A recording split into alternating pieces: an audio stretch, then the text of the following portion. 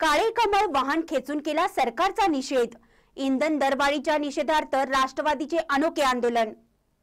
महागाईने जनतेचे कंबरडे मोडलेले असतानाच मंगळवारपासून पुन्हा इंधनाचे दर वाढू लागले आहेत.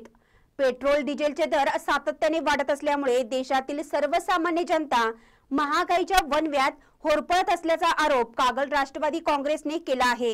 या रॅलीमध्ये चक्क एक कार खेचत तसेच दुचाकींना धक्का मारत पेट्रोल पंप गाठण्यात आले. गरिबांची चेष्टा बंद करा. पेट्रोल गॅस दरवाढ रद्द करा. या सरकारचं करायचं तरी काय? खाली डोके वर पाय. मोदी सरकार हाय हाय.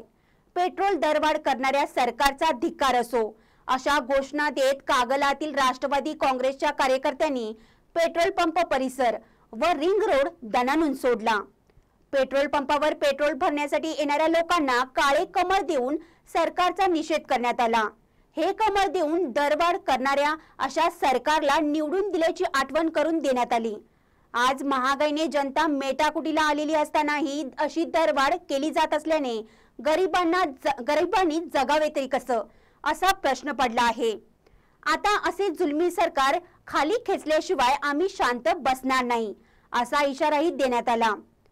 प्रताप भैया माने यांच्या मार्गदर्शनाखाली राष्ट्रवादी काँग्रेस कागलवत यांच्या वतीनं तसेच उपनगराध्यक्ष माननीय प्रवीण काळबर नगरसेवक माननीय सतीश गाडीवड्डर माननीय सौरभ पाटील माननीय बाबासाहेब नाईक माननीय आनंदा पसारे माननीय शिवानंद माळी माननीय संजय चितारी प्र यांच्या अशा प्रमुख उपस्थितीमध्ये या मोर्चाचे नियोजन केले होते.